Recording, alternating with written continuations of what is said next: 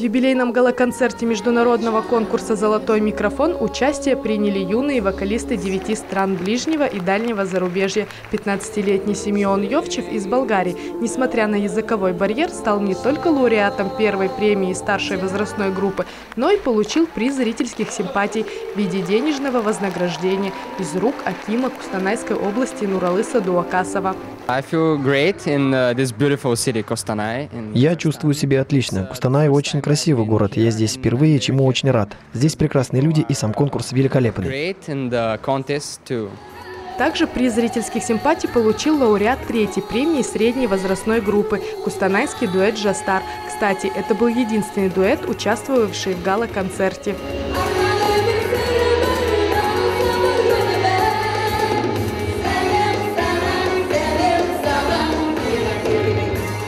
Всего жюри определило 12 победителей в трех возрастных группах, занявших третьи, вторые первые места. Неожиданностью было вручение третьих мест сразу пяти участникам, среди которых был 16-летний Андрей Костров из Ауликоля. Жюри просто не могло оставить без внимания звучание его крепнущего баса.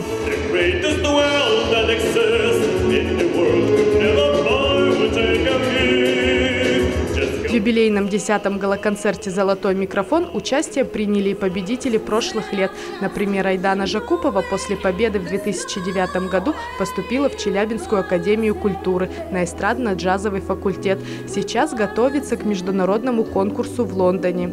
Золотой микрофон для каждого из нас является очень-очень таким вот большим праздником, потому что вот лично для меня золотой микрофон – это была путевка в жизнь, это очень святое для меня. Вот, э, и все люди, которые здесь, очень родные для меня.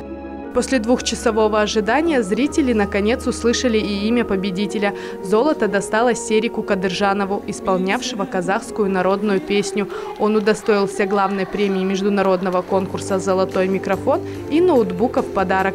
По словам Серика, в позапрошлом году он пытался принять участие в конкурсе, но не прошел отборочный тур. И эта победа для него особенно дорога. Я пел, первую песню пел о жизни, о том, что ничто на земле не проходит бесследно. Все, что ты проживаешь, все, что ты делаешь, остается на этой земле. А вторая песня – это казахская народная песня «Айкаракос». Это о девушке, которую насильно выдают замуж.